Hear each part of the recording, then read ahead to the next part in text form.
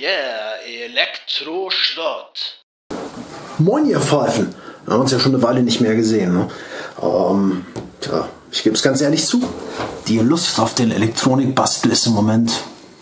Ah, aber es gibt immer eine Möglichkeit, mich zu motivieren. Und äh, eine dazu haben die Kollegen von Birkling gefunden. Ihr wisst schon hier, der, wo ich die ganzen Tütchen und so her, der Crack, die Elektronikhändler meines Vertrauens. Ähm, die Birkliner, die haben sich nämlich bei mir gemeldet und haben gesagt, du, äh, Gregor, da ist doch diese Make in München, ja, diese Bastler-Messe-Dings da mit den ganzen Bastlern und Makern und so. Und äh, magst du da nicht mal vorbeikommen? Wir haben einen Stand. Wir laden dich auch ein. Wir machen da einen Workshop. Laden wir dich auch ein. Und äh, da wird was gebastelt. Das ist total knorke und du hast doch auch schon letztes Mal dieses äh, Lichtorgelgedingse da gedönst und willst du nicht vielleicht auch ha, diesmal, na, ist doch schick. Habe ich gesagt, ja, also, hm, ja, klar.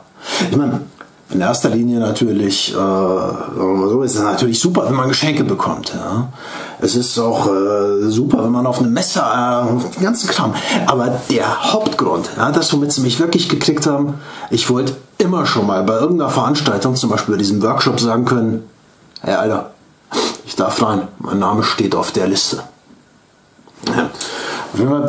Ich also am Samstag, heute ist zeitliche Desorientierung, Dienstag. Ich also am Samstag los, zack zum Zenit in München. Und ähm, dann habe ich mich mal eben so durchs Getümmel gewuselt und habe mir so ein paar Sachen angeschaut. Und ähm, dann bin ich beim Berklinern aufgestellt. Und äh, das, was es da gab, das war eigentlich gar nicht mal so uninteressant, das Projekt, weil äh, das nannte sich Internet of Plants. Internet of Plants. Hm, ich habe vergessen, Flyer mitzunehmen, deswegen kann ich keine Kamera halten, aber ich habe hier ein Bild. Hm. Ähm, die Idee ist folgende. Man hat ja ganz häufig so Nerds wie mich, ja, bei denen die Pflanzen so aussehen wie diese Chili hier. Ne? Ich habe es jetzt gerade mal gegossen, aber sagen wir es mal vorsichtig, sie hat es auch dringend gebraucht und ich hätte es vielleicht ein bisschen eher machen können. Ähm, weil so Nerds zwar ihre Pflanzen ganz gerne mal verrecken lassen, aber auf der anderen Seite ganz gerne mit Technologie spielen und eigentlich auch gar nicht wollen, dass ihre Pflanzen verrecken, haben sich die Birkliner gedacht, sie machen hier so ein Kit und mit dem verhindern sie das. Und damit ihr rauskriegt, wie sie das verhindern wollen, gehen wir jetzt mal in meine Lieblingsnahaufnahmenperspektive und gucken mal rein in den Beutel. Le Beutel wie unten noch drauf steht, Internet of Plants Kit. Ähm, das ist eine Geschichte, die kriegt man, glaube ich, mittlerweile auch im Shop bei Birklin. Kann aber eventuell äh, auch noch sein, dass es noch nicht ganz verfügbar ist. Weswegen, äh, das erwähne ich gleich, da fehlt nämlich gewissermaßen was. Schauen wir doch mal, was drin ist. Also das erste, was wir hier haben, Schrumpfschlauch. Praktisch. Ähm, dann haben wir hier Jumperkabel. Die braucht man auch ganz dringend für das, was die da machen würden. Wir haben hier ein Stück Kabel. Ähm, das ist dieses, na, was ist es? Schauen wir doch mal rein. Das ist so ein, so ein Ende Kabel hier mit äh, insgesamt, ah, boah, so vielen. 1, 2, 3, 4, 5, 6, 7 Polen und Erdung, wenn ich das richtig sehe. Damit sollte man vermutlich ähm, die Sensoren, die hier gleich kommen, an die restliche Schaltung anschließen. Vermute ich mal so, ohne es genau zu wissen. Vielleicht haben sie es auch nur dazugelegt, weil man damit die Pflanzen schon zusammenbinden kann oder so. Dann haben wir des Weiteren ein Brotbrett. Ne? Klassisches Breadboard, so ein kleines. Hatte ich bisher auch noch nicht. Ziemlich coole Sache, wollte ich mal schon haben. Feuchtigkeitssensor. Lichtempfindlicher Widerstand. Ähm, Temperatur- und Luftfeuchtigkeitssensor. Zu dem muss ich gleich noch was sagen. Eine feiste LED, damit kann man sich eine Warnung ausgeben, wenn irgendwas Gummel ist. Dann ein Arduino Uno. Und zwar ne, einen von den echten SMD Edition. Die Francis-Version. Und das, worüber ich mich fast am meisten. Nee, halt, bevor ich dazu komme, hier. Ein Widerstand, geil. Ein Widerstand. Ähm, und dann, wo ich mich eigentlich fast am meisten drüber gefreut habe, weil ich es die ganze Zeit schon mal haben wollte, das ist äh, das Ethernet Shield für den Arduino. Die äh, Kiste, die die da machen wollen, äh, die geht nämlich tatsächlich direkt ans Netzwerk, sonst wäre es ja kein Internet of Plants, sondern nur ein Sensording of Plants. Ah, ich denke, als erstes packe ich mal den Arduino hier raus, weil der ist wahrscheinlich noch am minder spannendsten, weil die meisten von euch schon mal einen gesehen haben dürften. Hui, mit ganz viel Zeugs dabei. Äh, wir haben hier den Arduino selbst. Ne, das ist so der ganz klassische mit dem Atmega 328. Was hat er als USB-Chip drauf? Einen 32U4, genau, nee, 16U2, ein Mega 16U2 für einen USB-Controller. Läuft mit 16 MHz, genau das, was man kennt. Hier liefern sie tatsächlich noch ein paar Plastikpöppel mit, damit wenn man es irgendwo hinstellt, man es Plastikpöppeln kann. Aufkleber, sehr cool. Das zweite, was wir mit Sicherheit alle sehen wollen, ist dieses Ethernet Shield. Das finde ich ganz schön geil. Oh, Ethernet Shield 2 with Power over Ethernet. Wenn ich jetzt auch noch äh, einen Power over Ethernet Injector hätte, dann könnte ich damit richtig was anfangen. Nanu, was ist denn das alles? Also mal der Reihe nach. Das ist das Schild an sich. Das ist ganz praktisch, das hat auch nicht nur Ethernet, sondern da geht noch ein bisschen mehr. Es hat also hier den Netzwerkanschluss an sich. Das müsste ein 100 Mbit Anschluss sein, wenn mich nicht alles täuscht. Dann äh, hat es eine Reihe In- und Outs. Äh, da hängen, wenn ich das hier richtig sehe, ja, schon etwas dickere MOSFETs auch mit dran. Das heißt, die In- und Out, die können wahrscheinlich auch so ein bisschen mehr treiben, als normalerweise da geht. Äh, es hat einen SD-Karten-Slot, damit man irgendwelche Sachen mit Micro-SD-Karten machen kann. Das ist natürlich super, wenn man Webserver oder sowas draufpackt, dass man so ein bisschen Platz auch hat für die Dateien. Reset-Button ist rausgeführt. Hm, irgendeine Leiste hier, da muss ich mal gucken, was die genau macht. Ja, genau. Das ist halt das Shield. Dann auch hier wieder Aufkleber dabei. Und schauen wir mal, was haben wir denn hier? Ich möchte fast wetten. Ah, ja, klar. Das hier kann man, wenn ich das hier richtig sehe, auf das Shield so draufstecken. Und äh, das ist dann mit Sicherheit der Power over Ethernet Adapter. AG9600IR von Silvertel. Aber das äh, hat hier eine fette Spule drauf. Das kann eigentlich einen großen Optokoppler. Das kann eigentlich nur der Stromadapter für das Power over Ethernet Zeug sein. Ähm, ja, nice. Ja, genau. Wenn man sich die Verpackung mal genauer anschaut, ja, wer lesen kann, ist klar ein Vorteil. Da kann man hier diesen grauen Balken erkennen mit hier diesem PoE-Klotz drauf. Und das ist genau dieses Modul hier. Ne? Das ist das Power over Ethernet Modul.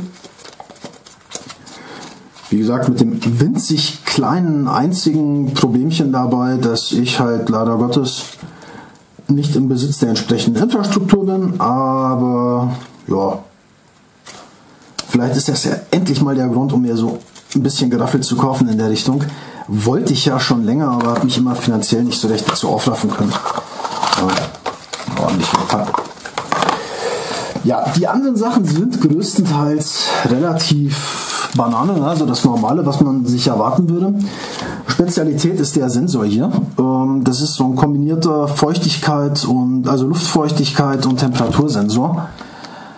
Ich wüsste ehrlich gesagt nicht, was das genau für einer ist, auch wenn die PIN-Belegung verdächtig bekannt aussieht. Also die Typenbezeichnung ist RHI 150D. Ich weiß aber zufällig von der Franziska von Berkeley, die hat mir erzählt, eigentlich wollten die, äh, Sekunde, jetzt, wo sind sie? Meine Sensorenkiste. Eigentlich wollten die was ganz anderes ins Packel tun. Und zwar hier so einen schönen DHT22, wie ich es auch schon beim Schlangomaten verwendet habe. Jetzt mal rein von der Anschlussbelegung würde ich vermuten, dass das eigentlich dasselbe Ding ist. Ich weiß es aber nicht genau und ich weiß, dass es für den DHT22 eine super Library für das Arduino Gefrickel gibt. Deswegen werde ich beim Zusammenbasteln auf jeden Fall einen von denen hier verwenden. Im endgültigen Kit ist, glaube ich, auch einer dabei. Sie hatten die nur noch nicht auf Lager für die Messe, deswegen haben sie erstmal so ein anderes Reservezeug reingepackt. Was ich ansonsten noch ganz interessant finde, ist der hier. Ähm, ich mache den mal auf. Mal gucken, gibt es da so eine frustfreie Stelle, wo das ohne eine Schere geht? Nein, gibt es nicht. Also, Schere. Hole ich ihn mal raus. Ein Funduino Feuchtigkeitssensor für die Erde. Vom Prinzip her eigentlich ein ganz einfaches Ding. Ne? Ihr könnt euch vorstellen, ihr habt hier und hier Leiterbahnen drauf liegen, da kommt Spannung drauf und je nachdem, wie viel Wasser in der Erde ist, umso leitfähiger ist das und da ändert sich der Widerstand zwischen denen hier. Also das ist ein resistiver Sensor. Ähm, was normalerweise den Nachteil hat, wenn man sowas benutzen will, dann äh, muss man sich noch einen zweiten Widerstand schnappen und muss sich einen Spannungsteiler aufbauen. Und mit dem Spannungsteiler äh, kann man dann einen Strom, äh, eine Spannung messen. Entschuldigung, kein Strom. Das ist hier auf dem kleinen Sensor schon gemacht worden. Ne? Ich heiz mal näher dran, dann könnt ihr das hier ganz genau sehen. Was hier drauf ist, also ohne es genauer zu sehen, das hier sieht aus wie eine LED. Das ist nur die Power-LED, die interessiert uns nicht. Aber wir haben hier noch einen Widerstand und wir haben hier einen kleinen Transistor, wenn ich das richtig sehe. Ja? Genau. Äh, der Pluspol geht hier rein. Der Minuspol geht hier hin. Und den Rest haben wir hier über die Widerstände, ja genau. Das heißt, letztendlich ist das da wahrscheinlich nur ein Transistor, der für die äh, Steuerung der LED zuständig ist. Aber der zweite Widerstand, den man braucht hier, damit man äh, einen Spannungsteiler hat, der ist bereits mit auf dem Board drauf, sodass man hier auf dem Pin Signal, ja, auf dem kann man dann direkt eine Spannung zwischen 0 und 5 Volt abgreifen, sodass man also ein bisschen weniger Beschaltungsgefrickel hat. Ist eigentlich ganz cool gemacht. Ja, äh, kann man sich ansonsten auch aus zwei Nägeln und äh, einem Widerstand bauen, aber ist natürlich cooler, wenn man den hier so hat. Der sieht auch ganz hübsch aus. Dann würde ich mal sagen, wir schreiten einfach mal zur Assemblage der einfachsten Grundteile dieses Systems. Also das, was man so sofort als erstes braucht. Fangen wir natürlich mal mit dem Arduino hier an. Und mit dem Ethernet-Shield. Das ist übrigens mein erstes Shield, das ich für ein Arduino besitze. Ähm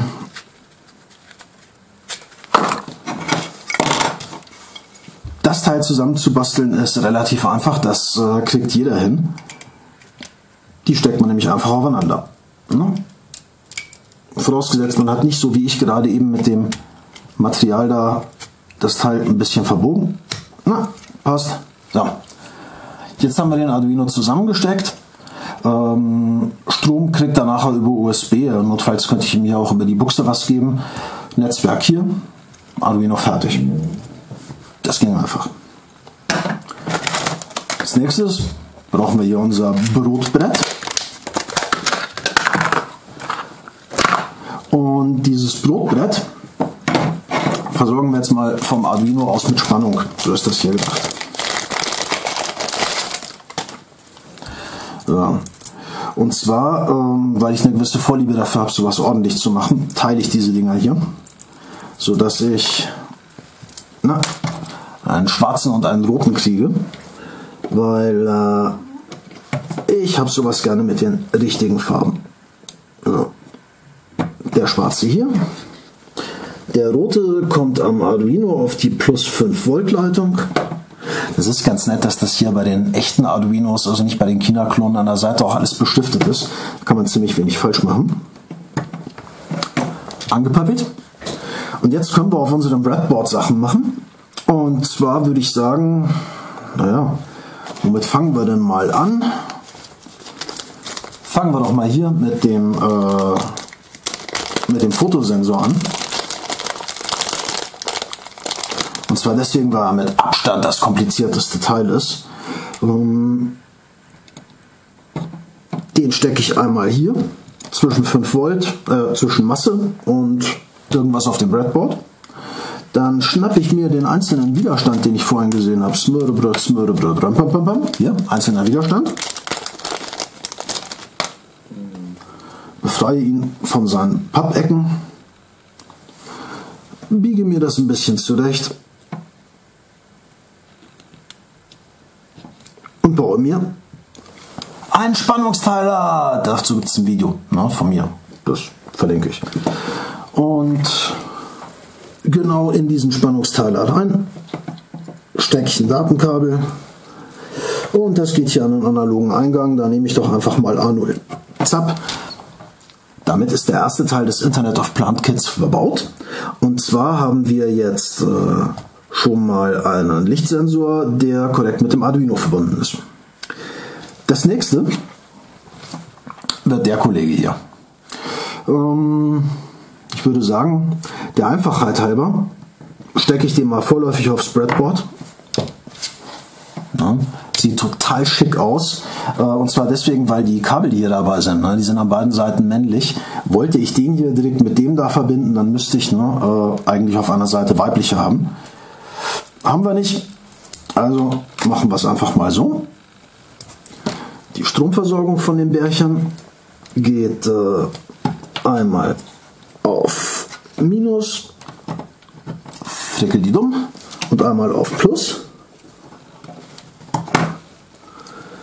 An der Stelle habe ich jetzt die Farben der Kabel nicht ganz so schön. Ja? Und äh, die dritte Leitung, ich zeige euch das mal hier, die sind sogar bestiftet. Na, da seht ihr so ein S bei dem, wo ich noch nichts gesteckt habe. S steht für Signal. Und da kommt dieses Kabel in Signalfarbe rein und das geht direkt in einen weiteren analogen Eingang, nämlich A1. Jetzt haben wir bereits einen äh, Feuchtigkeitssensor für die Erde und einen äh, Lichtsensor fürs Licht. Und das nächste, was ich jetzt mache, ist mir das Datenblatt für den DAT22 suchen und den DAT22 verbauen. Eilige Planänderung aus aktuellem Anlass. Ich werde diesen DAT22 erst morgen verbauen. Und zwar deswegen, weil mir jetzt die Zeit fehlt. Ich habe gerade eben mit diesem Öhrchen hier eine leise Stimme gehört. Es war der Ruf, nicht der Wildnis, sondern eines weiteren Geschenks von der Firma Birklin.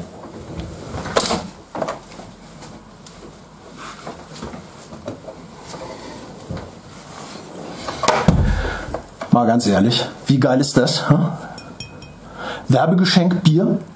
Das ist ja also geradezu optimiert für mich, ähm, aber nicht extra für mich. Das Coole ist nämlich, der eine von den beiden Berkeley-Chefs, ja, der hat eine Brauerei in Tölz. Das ist Tölzer Mühlfeldbräu. Und irgendwie all diese Bastelei da unten, ja, die hat mir gerade das Gefühl gegeben, dass ich jetzt ganz, ganz dringend dem Tölzer Mühlfeldbräu zusprechen muss, bevor es hier weitergeht. Insofern.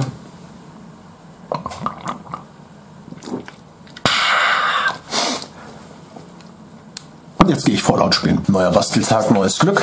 Hier ist das Datenblatt von dem Biest. Und da haben wir die Pin-Belegung von unserem Gedingse. Äh, haben wir doch gesagt. Ja, genau da ist sie. Das heißt, mit diesem Wissen können wir jetzt loslegen und den auf den stecken. Könnt ihr euch direkt da unten angucken. Wir stecken also unseren Sensor hier drauf und geben ihm die drei Leitungen, die er braucht. Es sind nämlich nur drei belegt davon. Und zwar der ganz linke Pin ist äh, 5 Volt. Das ist äh, hier. Genau. Das ist 5 Volt. Also ziehen wir den hier rüber. Dann der direkt daneben ist das Datensignal. Das packe ich hier mal irgendwo an den Arduino dran. Ja, nehme ich den A2. Und das letzte, was wir haben, ist der dritte Pin hier. Ja, und der ist Masse. Klick. Und damit hätten wir das äh, Berkeley Internet of Plants Kit komplett assembliert. Äh, ja, komplett bis auf eine Kleinigkeit, nämlich die LED hier. Aber die schließe ich jetzt nicht an, die ist äh, ja sinnbefreit, wenn ich sowieso irgendwie einen Alert von dem Gerät übers Netz kriegen kann. Äh, vielleicht mache ich da auch noch was. Jetzt schauen wir erstmal, wie sich das mit der Software verhält. Da hat nämlich zum Glück der, der nette Tadik, der auch den Workshop gemacht hat auf der Make, äh, der ist übrigens vom Maker-Dings, Maker Bla in Kairo. Ja, war ein recht netter Ägypter, der junge Mann. Und äh, der hat da schon was vorbereitet an Code. Und das ziehen wir uns jetzt einfach mal von GitHub runter und schmeißen es hier drauf und gucken mal, ob es einfach so auf Anhieb funktioniert. Das hätte ja was. Ich bleibe weiterhin zu faul, um einen richtigen Screencast zu machen. Äh, ihr müsst jetzt hier mit Kameragedöns. Also, der äh, Mucke da von der Make Munich, wie gesagt, der hat äh, ein Repository bei GitHub angelegt. Äh, ich verlinke es auch hier unten drunter, aber ansonsten einfach mal bei GitHub nach Internet of Plants suchen, äh, dann findet ihr genau das Repository. Was ihr damit macht, ist, ihr müsst das erstmal mit GitHub, mit Git rausklonen. Ähm, Das habe ich hier schon mal alles gemacht. Ähm, der Befehl dazu, blablabla, wo ist es denn? Genau, das ist hier. Geht in euer Entwicklungsverzeichnis, Git, Clone und so weiter. Geht bestimmt unter Windows irgendwie anders, aber ich habe jetzt hier nur Linux. Und nachdem man das rausgeklont hat, findet man in dem äh, Arduino-Projekt, in dem Ordner, den man geklont hat, der sieht so aus, findet man einmal Arduino-Code, da kommen wir gleich dazu. Dann sind hier noch ein paar Diagramme drin, die zeigen, wie man die Sensoren anklemmt. Und ähm, zu guter Letzt, und das ist ganz wichtig, findet man hier noch so eine Library, die man braucht. Das ist die Library für den äh, Temperatur- und Feuchtigkeitssensor, den ich da verwende, diesen DHT22. Und zwar, was man damit macht, ist, man öffnet das Archiv, dann nimmt man den Ordner, der da drin ist, und den kopiert man in sein Arduino-Verzeichnis ins Unterverzeichnis Libraries, sodass das hier drin liegt.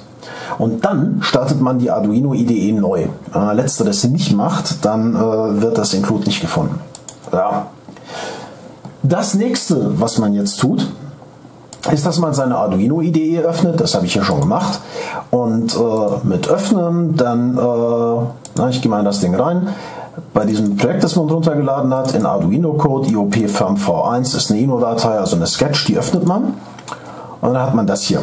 Ganz wichtiger Hinweis. Arduino 178. Ähm, mit der etwas älteren 165 oder was ich davor hatte, gibt es nämlich ein winziges Problem das hat diese Ethernet 2 Library noch nicht drin. Die kann man sich zwar auch extern beschaffen, aber äh, ne, einfacher, wenn man es einfach so macht. Ähm, ich habe hier im Grunde genommen den Code von Tarek. Ähm, es ist nur so, dass ich da ein paar Sachen geändert habe. Irgendwo war noch ein kleiner Bug drin. Und des Weiteren habe ich mir ähm, die Finds reingeworfen für Ethernet und Serial. Habe jetzt erstmal Ethernet ausgeklickt ja, und habe unten alles, was irgendwie mit Netzwerk zu tun hatte, ne, das sieht man hier so, Start Ethernet Aufruf und sowas, äh, habe ich halt in äh, if-Anfrage reingetan. Einfach nur, damit ich mein äh, Gebilde hier, also das da, ja, schon mal testen kann, ohne dass ich dafür gleich die Netzwerkanbindung brauche. Äh, vor allem auch deswegen, weil ich gerade gar kein Netzwerkkabel oben habe. Das müsste ich mir jetzt, also mache ich nachher. So. Was man macht, wenn man das gemacht hat, ist, dass man auf den Compiler-Button mal draufklickt, dann sieht man, dass das auch alles funktioniert irgendwie. Zumindest nachdem man irgendwelche Bugs gefixt hat, die drin gewesen sein sollten. Und wenn man das gemacht hat, dann schmeißt man das auf seinen Arduino hoch. Jetzt sieht man hier unten, ich habe da mit dem fetten Output, ja, habe ich den ganzen Kram gemacht. Sieht man, hat funktioniert. Und das sollte jetzt laufen. Ja, dann schauen wir doch mal. Und zwar äh, mache ich diesen seriellen Monitor mal auf. Holen wir den vom anderen Monitor rüber. Und was sehen wir hier? Haha. Ich zoome euch mal rein. Wir kriegen hier Messwerte. Juhu. Ähm, ja, also das ist auch immer runterscrollt. Wenn ich jetzt mal hier mein äh, Board nehme, hier, ja, so sieht das aus. Ähm, ich mache jetzt mal ein paar Dinge. Ähm, ja, hm, wie machen wir das? Das mal hier runter. So sieht man es denn ungefähr. Ähm, ich fasse jetzt zum Beispiel mal hier diesen Moisture Sensor an. Ja? Das ist ja so ein resistives Ding.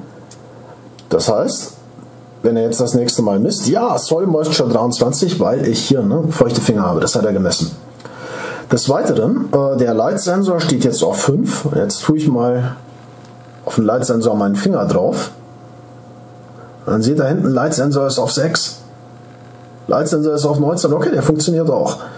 Und äh, hier der Temperatursensor, äh, der zeigt jetzt 20,3 Grad. Jetzt fasse ich das mal mit der Hand an. 20,4. 20,4. Feuchtigkeit steigt sofort. Ne? Also die Sensoren tun alle. Das Arduino-Board tut. Jetzt äh, ist der nächste Schritt, wir brauchen diesen ThinkSpeak-Kram. So, ich habe jetzt hier ein Ethernet-Kabel dran, ne? da sieht man es, da ist auch hier Blink-Link. Und ähm, die Website, die ihr hier seht, ist thingspeak.com. Das ist Thingspeak ist einfach so eine Seite, wo man sein Internet of Things Gefubare, ja, äh, Daten hinposten lassen kann, relativ einfach und die haben dann so kleine Visualisierungen und so ein Zeug. Na, und was wir jetzt machen, also ich habe mich da angemeldet in einem neuen Account, den habe ich mir gerade angelegt und jetzt legt man einen sogenannten Channel an.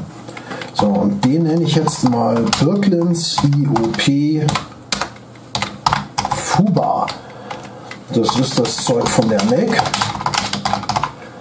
Und ich habe, ich zeige euch das gleich im Code, insgesamt vier sogenannte Felder da drin. Das erste Feld, das sieht man dann äh, hier unten in der Methode hier. Er hat am Anfang den Erdfeuchte, dann hat er Licht, dann hat er Temperatur, dann hat er Feuchtigkeit.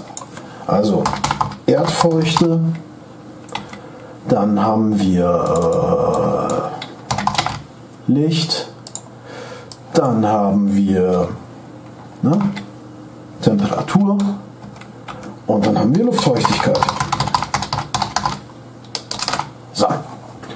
Den ganzen anderen Kram kann man weglassen. Ich mache das jetzt mal public. Ja, dann kann ich euch nachher die URL geben und ihr könnt euch das anschauen. Und äh, dann speichere ich das ab. Klick. Und jetzt habe ich hier einen Channel. Ähm, die haben hier gleich mal so Visualisierungsdinger angelegt. Die kann man sich so hier hin und her ziehen. Das mache ich jetzt mal, damit man das gleich besser sehen kann. Ja. Jetzt haben wir die alle schon auf dem Bildschirm. Und was hier ganz wichtig ist, das ist, wenn man hier in diese API-Keys geht, da gibt es diesen Write API Key. Ja, zu dem Zeitpunkt, wo ihr das hier seht, in dem Video habe ich den natürlich schon geändert, das ist klar, ja. Ähm, und diesen Write API Key, den muss man hier oben im Code da oben eintragen. Ne? Genau. Jetzt ist er eingetragen. Äh, er updatet alle 16 Sekunden. Das liegt schlicht und einfach daran, dass äh, ThinkSpeak nicht mehr Updates zulässt. Aber ansonsten müsste der Code, so wie er jetzt ist, eigentlich bereits funktionieren und zu ThinkSpeak posten können. Ich habe es jetzt hier mal so gemacht, dass mein Ethernet an ist. Das Serial Debugging habe ich ausgemacht.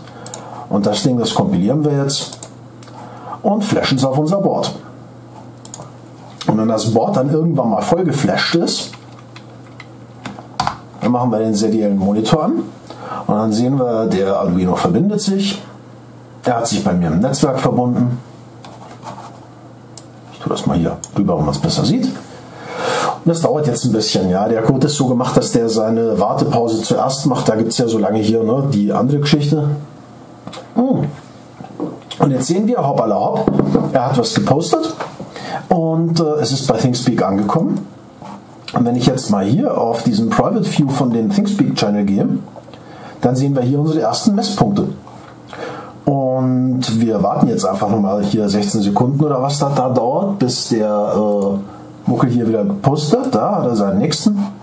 Und wenn ich jetzt hier mal reloade, der macht das auch irgendwann von selber, aber ich reloade jetzt einfach mal, dann sieht man gleich, zack, zack, der hat hier richtig schöne Kurven. Ja, also ich tue jetzt hier zum Beispiel mal beim Licht meine Hand drüber das ist äh, der hier. Und wenn es da drüben das nächste Mal scheppert, sollte sich hier was tun. Na? Hallo, scheppern. Jawohl, jetzt hat es gescheppert. Und äh, ja, ich habe nicht richtig zugehalten. Ich mache jetzt mal richtig zu. Also was man hier sieht, man kriegt bereits so mit den einfachsten Mitteln, ohne dass man sonst großartig was tut, seine Sensorwerte sehr, sehr hübsch äh, auf die ThinkSpeak-Seite. Und es funktioniert hervorragend. Also einfach nur mit dem, was die Brooklyn-Leute geliefert haben. Na, sind wir jetzt etwa fertig? Ne, Kinder. Fertig sind wir noch lange nicht. Und zwar aus einem ganz einfachen Grund. Wenn ich das Ding hier nochmal hochhebe, ja, das hier kann ich ja wohl schlecht in meinen Blumentopf stecken, wa? Das heißt, ähm, wir brauchen hier noch ein wenig Handarbeit, damit das Ding so richtig handsam wird. Und die Handarbeit, ja, die seht ihr dann von mir mit einem anderen T-Shirt, weil ihr seht hinter mir, es ist draußen dunkel und äh, ich habe Bier, ich habe Fallout 4. Ich fürchte, ich muss jetzt erstmal eine Pause einlegen. Aber ihr kennt das ja schon von diesen Videos. Ne? Ihr werdet das Gefühl haben, das werde. Ne? So klappt das. Okay, einen Tag später, anderes T-Shirt, um es zu beweisen. Und ich habe getan, was ich versprach. Ja, Platinchen gebaut. Das ist jetzt nichts besonders Spannendes. Ja? Also ich habe die verschiedenen Sensoren einfach mal hier auf Lochraster gebracht. Ähm, ich habe auch die LED tatsächlich drauf gemacht. Ähm, ich habe jetzt in der Software noch nichts mit der LED, aber vielleicht kann man sie ja mal benutzen, um Fehler anzuzeigen. Rückseite sieht so aus. Also wie man sieht, obwohl ich äh, ohne einen Plan gelötet habe, sondern ähm, einfach mal so drauf los, habe ich es hingekriegt, dass ich nur einen einzigen Jumper brauche und hier unten nur ein SMD-Teil, das ich halt benutzt habe für den Pull-Up von dem DHT22. Der braucht ein 1 Kilo äh, um Pull-Up-Widerstand, sonst funktioniert er nicht. Das ist jetzt das Setup, so wie sich's gehört. Und ich würde sagen, ähm, das benutzen wir jetzt mal. So, meine Kinder, hier seht ihr eine Chili-Pflanze. Die ist schon ein bisschen schlapper, die könnte ich mal wieder gießen. Und äh, hier haben wir unser Internet of Plants Thingy. Und das pflanzen wir jetzt mal richtig gescheit hier rein. Ja. Und ähm, naja, das müsste jetzt eigentlich schon was tun. Und äh, ich würde sagen, ich äh, gehe mal wieder mit euch auf den Monitor, wo man sehen kann, was es an ThinkSpeak übermittelt. Hm? Hier sehen wir jetzt die äh, Kurven von ThinkSpeak. Also man sieht äh, den Zeitpunkt, wo ich jetzt angeschaltet habe. Ne? Das ist das, wo plötzlich Messwerte reingekommen sind. Seitdem gab es schon so ein paar Updates, wenn auch nicht viele. Und was ich jetzt mal machen werde, das ist, dass ich der äh, Pflanze einfach mal so ein bisschen Bonus Feuchtigkeit verpasse. Das heißt, hier müssten wir dann eigentlich so beim Refresh danach äh, langsam mal irgendwie einen Wert sehen. Ich gieße das Tierchen mal. Also ich kippe hier gerade Wasser rein. Man muss natürlich immer ein bisschen aufpassen, dass das nicht die Platine direkt erreicht und zusifft. Ist ja alles noch nicht irgendwie mit einem Lack oder so geschützt. Das muss ich noch machen. Ähm, aber Feuchtigkeit sickert langsam in die relativ trockene Erde ein hier. Und wir warten. Oh, ja, da sieht man schon. Ne? Nächster Messwert Erdfeuchte 50. Das ist ja ganz hervorragend. Und äh, Licht hat sich nicht viel geändert, Temperatur bleibt so im Bereich, aber die Luftfeuchtigkeit, wenn ihr mal nach unten rechts schaut, äh, die ist ziemlich angestiegen. Und das liegt an zwei Sachen. Nämlich einerseits daran, dass die gesamte Konstruktion jetzt so ein bisschen in so einer Wasserpfütze steht, ist natürlich für die Luftfeuchtigkeit was. Und die andere Sache ist, ich rede gerade mehr oder weniger direkt auf, den Temper auf diesen Feuchtigkeitssensor, sodass der die Feuchtigkeit aus meiner Atemluft auch wahrnimmt. Ähm, ich gebe ihm mal ein bisschen mehr davon. Ich atme auf den Sensor.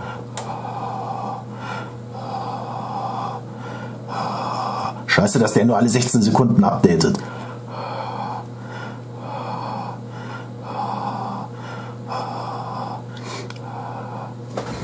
Ja, und da sieht man es. Zack, meine Atemaktivität auf dem Sensor hat äh, ganz tierisch die Feuchtigkeit hochgetrieben in der Luft. Funktioniert alles? Ja, das kann ich jetzt in der Chili stecken lassen, um zu gucken, wie es ihr so geht. Äh, RTL ist nicht der einzige Sender, bei dem irgendwelche unwürdigen C-Promis zwischen irgendwelchen halbvergammelten Pflanzen rumdengeln. Ich kann das auch hier. Ähm, Internet of Plants von Berkeley hat funktioniert. Ist ein ziemlich cooles Kit. Ich möchte mich hier nochmal bedanken bei den Berkeley-Leuten, weil äh, ich hatte an, jetzt am Samstag Geburtstag, am Sonntag war ich auf der Make und die lieben Leute, die haben mir so ein Kit da geschenkt. Das kostet normalerweise gar nicht mal so wenig Geld. Also ich glaube, der Messepreis sollten 120 Euro sein. Ich weiß nicht, für wie viel sie es regulär verkaufen, aber naja, es ist es eigentlich auch wert, weil ich meine, es sind auf die, die aufeinander abgestimmten Sensoren. Äh, es ist das Ethernet Shield, das ist ein originaler Arduino. Ist schon okay. Also ich denke mal, ja, also ich hätte eigentlich erwartet, dass es so ungefähr 100 kostet, aber man darf ja auch nicht vergessen, äh, Brooklyn ist jetzt nicht gerade ein Laden, der speziell so auf Kids und ihren Vertrieb aus ist. Die haben da wahrscheinlich einfach auch nicht so, ne? Wie dem auch sei, ähm, dafür, dass man lauter Teile kriegt, die 1A zusammenpassen und auch so ein paar coole Sachen, zum Beispiel da den Feuchtigkeitssensor mit den äh, bereits aufgesteckten Teilen, so dass man da kein Spannungsteil mehr braucht, das ist schon okay. Und äh, ja, ist super cool. Geiles Projekt, hat mir sehr gut gefallen. Nächster Level, statt dem normalen Arduino mit dem Ethernet Shield mal so ein ISP8266 Arduino dran klemmen. Das muss doch gehen. Also 5 GPIOs habe ich da schon frei und der hat bestimmt auch AD-Wandler. Also äh, das muss hinzukriegen sein. Ähm, ja, was soll ich noch labern? Ich will nicht labern, ich gehe jetzt ein Bierchen trinken, morgen schneide ich das, spätestens am Wochenende kommt es ins Internet und bis dahin, Tschüssing.